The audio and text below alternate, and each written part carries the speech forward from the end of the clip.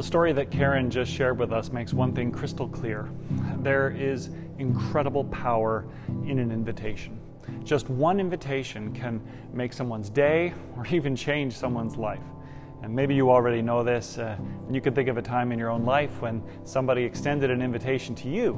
Maybe they just invited you for coffee, or and they invited you to go out, or they invited you to apply for a job. Maybe they invited you on a date, or they invited you to church. And, and that invitation, it ultimately changed the course of your whole life.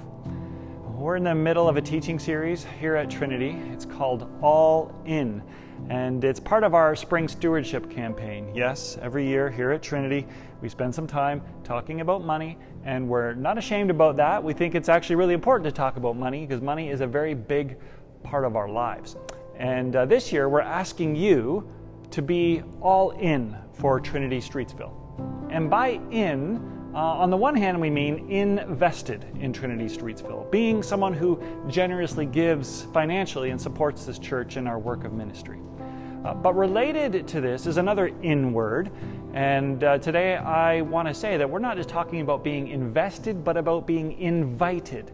An inviting church, a warm, welcoming place where we open our doors to friends and neighbors. Um, but you might be saying, what do these two things have to do with each other? Uh, and other than the fact that they both start with in, what does investing have to do with inviting?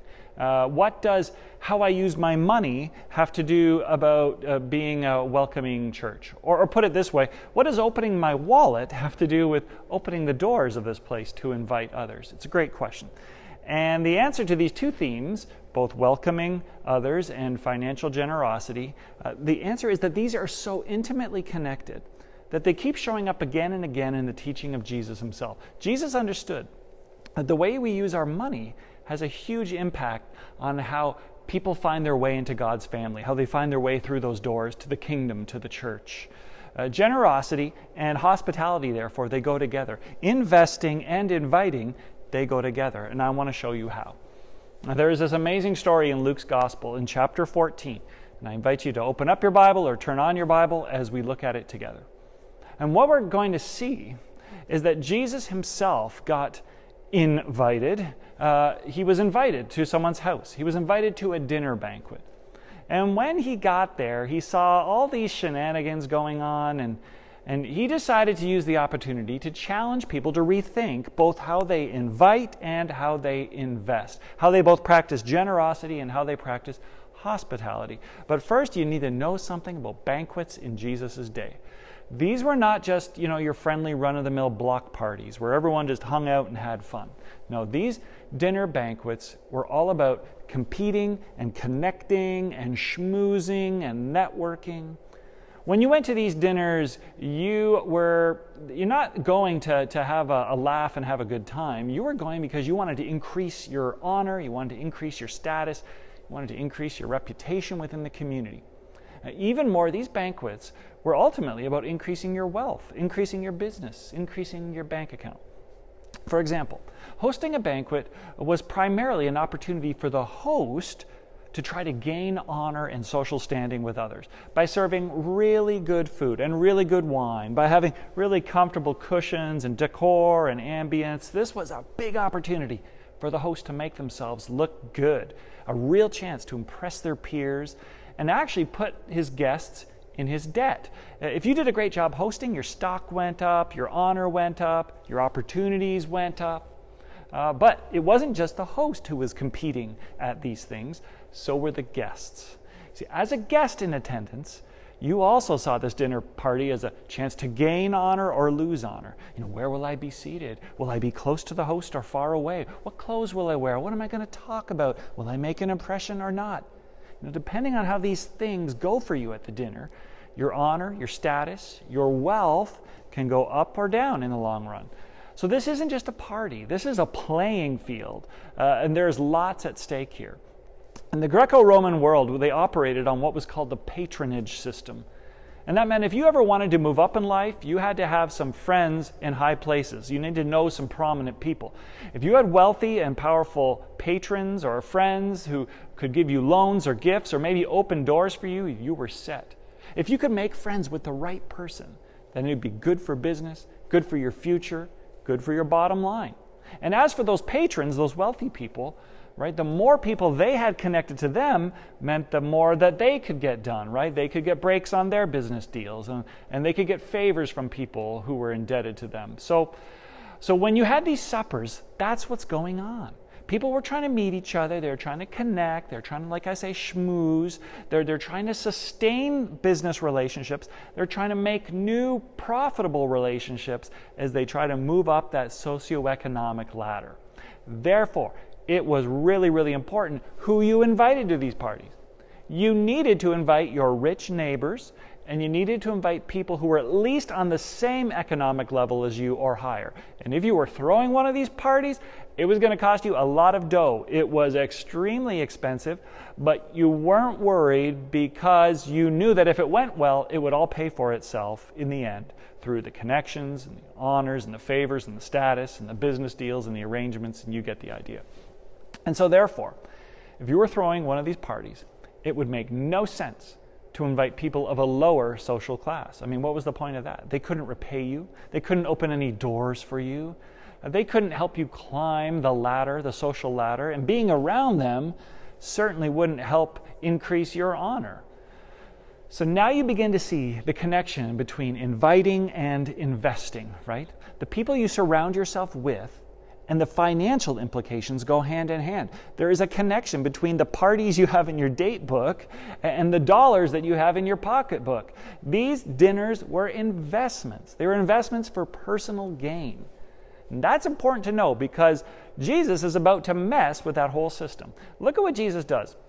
He, he walks into one of these dinners and he's looking around and he's watching the people jockey for position. He's seeing all these power plays taking place. And, and Jesus says to the host, to the patron, he says, When you give a luncheon or a dinner, do not invite your friends or your brothers or sisters, your relatives or your rich neighbors. If you do, they may invite you back, and so you will be repaid. But when you give a banquet, invite the poor, the crippled, the lame, and the blind, and you will be blessed. Although they cannot repay you, you will be repaid at the resurrection of the righteous. So there you go. Wow, a classic Jesus mic drop. Jesus, what did he just say? He said, well, well, it's important to note what he didn't say first. He didn't say you can't hang out with your friends, and he didn't say you can't get together with your family or your relatives. That's not what he's saying. And I don't think Jesus is even saying here that you can't have a business dinner or, or get a deal done over a meal. No. But what Jesus is talking about is priorities. Where is your priority? Is your priority focused on maintaining your place in society, in your standing, or your wealth? Or is your priority on those who lack wealth and standing, the poor, the crippled, the blind, and the lame? Is your priority on those you're comfortable being around, those who are like you, those whose friendships kind of benefit you? Or is your priority on those outsiders, outcasts, even if those people make you feel uncomfortable? And so now you can see how this starts to boil down to money. Jesus is saying that you're giving to charity and mission and ministry. That is, you know, how you give to people's physical needs and how you give to their spiritual needs. This kind of giving should be the priority in our lives. And that means we should be investing there more than we invest in our own personal position and comfort, which is what these suppers were all about. Now, this doesn't mean that you shouldn't spend money on yourself but that the money that you give to support ministry and charity and outreach and mission and pastoral care and worship, that this should be the priority. And this should probably be more. Now, when Jesus said this, and when we hear Jesus say this now, it makes us feel disturbed and conflicted. I feel disturbed and conflicted by it because it means we have to make decisions and we have to make sacrifices with our money right? Uh, we, we're, we like those people at the banquet. We're, we're, we have goals too. We have places we'd like to go. We have things we'd like to do and stuff we'd like to buy. But, but if I invest my money with the poor and the crippled and the lame and the blind, then I won't have enough to do all those other things, right? In other words, it's going to cost me. I won't be able to do all those things and enjoy all those comforts if I open my doors to others. There just won't be enough for both. And that's the truth. Giving generously always requires sacrifice. And most people are not prepared to make that sacrifice. Even these people in the story that we read, they were spending a lot of money hosting that meal, but it wasn't really a sacrifice because they knew they were going to get their money back in other ways. But throwing a feast and inviting the poor, where is the payback there? It is so natural for all of us to want to look after our own needs first, and then if we have anything left, we can give that to God and we can give that to the poor. But Jesus is saying, what if you switch that around? What if you gave first to ministry, first to charity, before you spent any of it on yourself?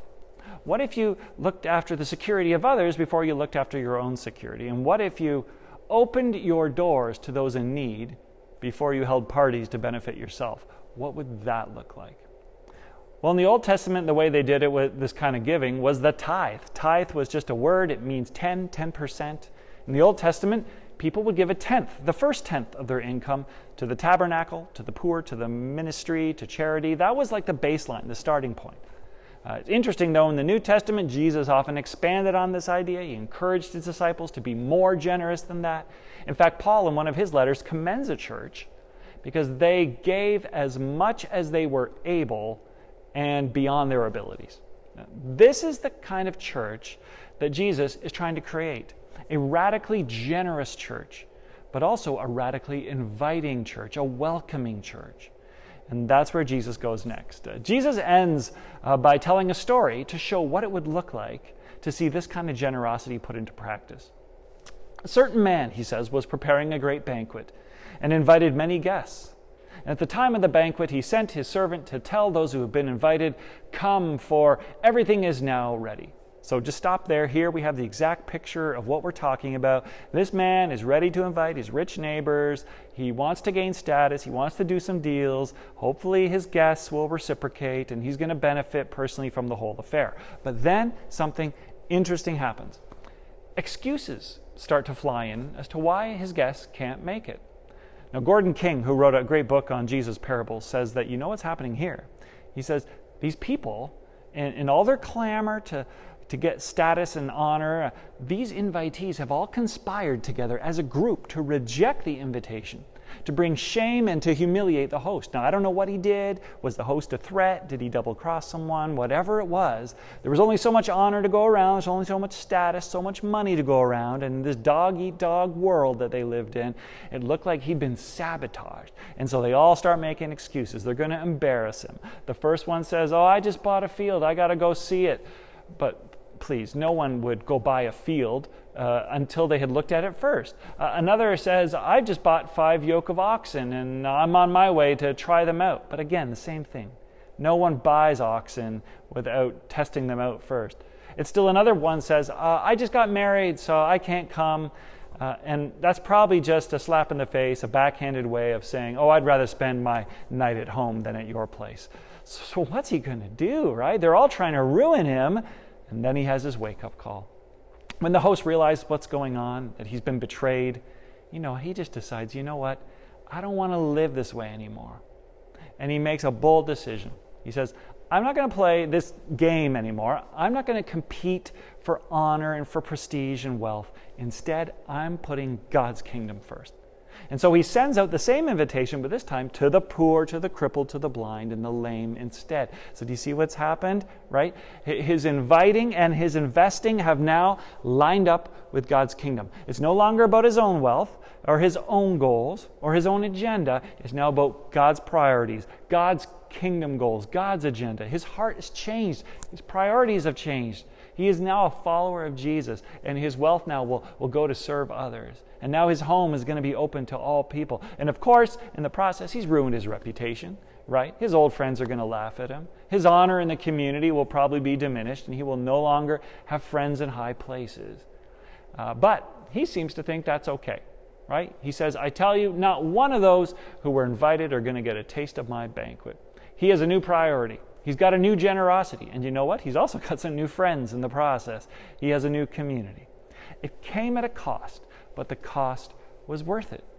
Jesus says, Although they cannot repay you, you will be repaid at the resurrection of the righteous. When we pour ourselves out for other people, when we care for people, when we go the extra mile for people, when we give our money away, we might feel like we're missing out. We're going to miss out on that next trip or the next vacation or the next car or the next iPhone or whatever, but you're not. You're not missing out on anything, Jesus says, because of the resurrection. You're not missing out at all. Jesus says you are just sacrificing present wealth, yes, but you're going to be repaid with future wealth in the resurrection. Can you imagine what it would be like if we here at Trinity were that kind of church? A church that just poured our resources out for others, a church that opened up our doors uh, to others, a church that just prioritized God's kingdom over our own comforts, a church where everyone felt invited and everyone felt welcomed. I tell you, you couldn't keep people away from a church like that. In fact, uh, did you notice that in this story, when the host sent out his servant to the poor who lived in the streets and in the hedges to invite them, he had to compel them. He had to argue with them. He had to convince them to come into my banquet. Come on in, come in. They wouldn't believe him. Why? They couldn't believe it. Who would believe it? This kind of generosity was unheard of. And you know, I think this is the same thing that people would say about a church today if we lived like that. If they experienced this kind of welcome, this kind of invitation, if they saw us with this kind of generosity and they experienced this kind of love, they would look at us and they would say, like, I don't believe it. Right? We've never seen anything like that. It seems too good to be true. But it is true. It's true of the gospel, and it can be true of us at Trinity. Because the gospel says Jesus gave his life. Jesus sacrificed everything. He paid it all in order to prepare a feast for us. We don't have to bring anything. It isn't a potluck dinner, right? Everything's been prepared. Everything's been paid for. We only need to accept Jesus' invitation. And when we realize just how Jesus surrendered his status and his wealth and his life for us in order that we might come into his house, then we will start to do the same thing. We will start giving sacrificially. We will start inviting liberally. We will start investing generously in what God is doing here at Trinity and in his wider kingdom throughout the world. So thanks be to God. Amen.